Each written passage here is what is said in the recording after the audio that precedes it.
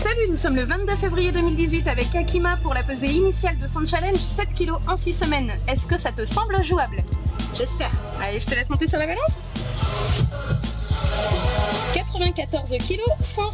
Salut, nous sommes le 6 avril 2018 en compagnie de Akima pour sa pesée finale du challenge 7 kg en 6 semaines. Son poids initial était de 94 kg 100. Tu dois donc arriver à 87 kg 100. Est-ce que tu penses que c'est jouable? Allez, je t'invite à monter sur la balance.